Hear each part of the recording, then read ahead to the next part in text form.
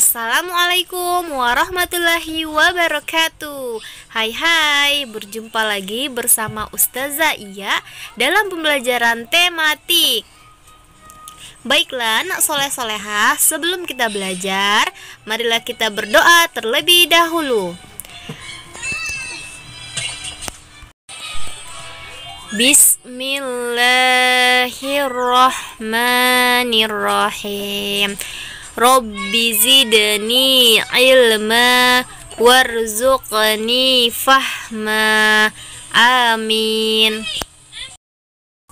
Masih di tema 4, aku dan keluargaku. Subtema 3, inilah keluarga besarku. Sebelum kita lanjut, mari kita membaca basmalah bersama-sama. Bismillahirrohmanirrohim Tujuan pembelajaran kita hari ini adalah anak-anak diharapkan dapat menyebutkan satuan panjang tidak baku dengan benar. Yang kedua, anak-anak dapat menentukan satuan panjang tidak baku suatu benda dengan benar. Mengenal satuan panjang. Satuan panjang ada dua macam yaitu satuan panjang baku dan satuan panjang tidak baku. Satuan panjang baku kita bisa mengukur benda-benda menggunakan alat.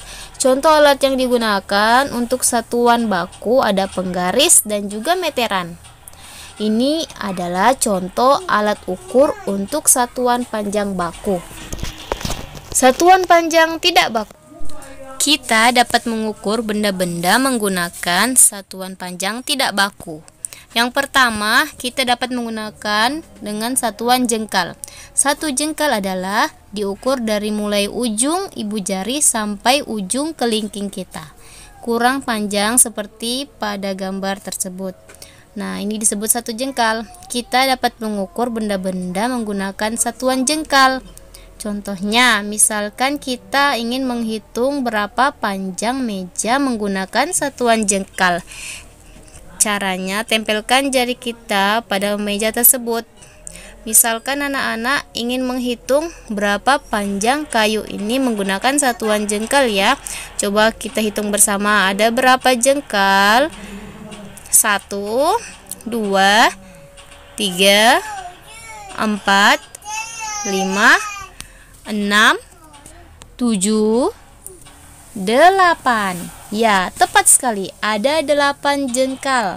Berarti panjang kayu ini adalah 8 jengkal. Sudah paham anak-anak? Satuan panjang yang lainnya adalah hasta. Satu hasta adalah diukur dari panjang mulai ujung jari kita sampai ke siku. Seperti pada gambar ya, perhatikan. Itu adalah ukuran satu hasta. Contohnya, seperti pada gambar, anak-anak ingin menghitung berapa panjang meja tersebut. Kita tempelkan dari ujung jari sampai ke siku. Yang dihitung berapa hasta panjangnya. Satuan panjang tidak baku berikutnya adalah depa.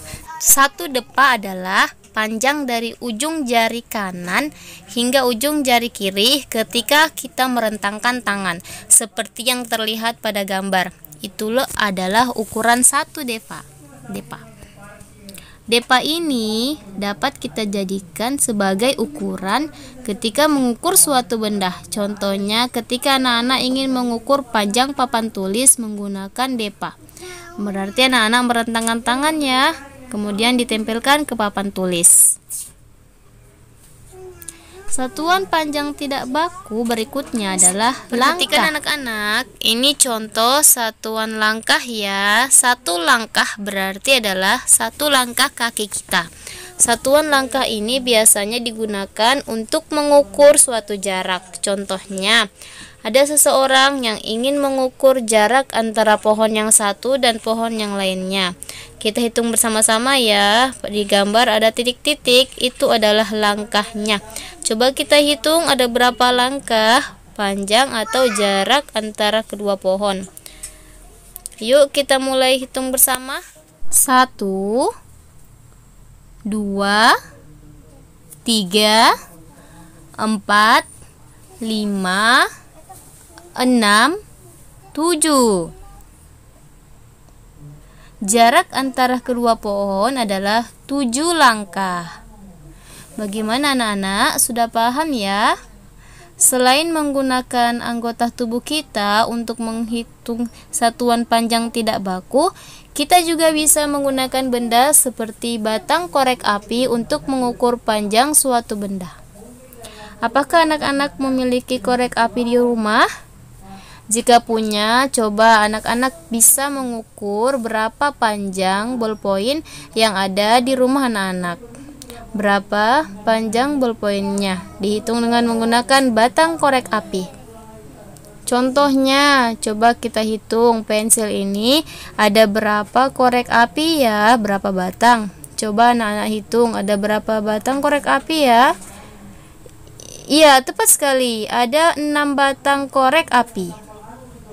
Itu adalah contoh beberapa satuan panjang tidak baku yang dapat digunakan Nah, waktunya tugas.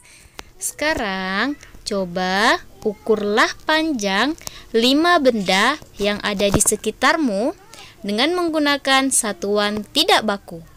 Jadi, boleh menggunakan jengkal, depa, hasta, ataupun langkah kaki.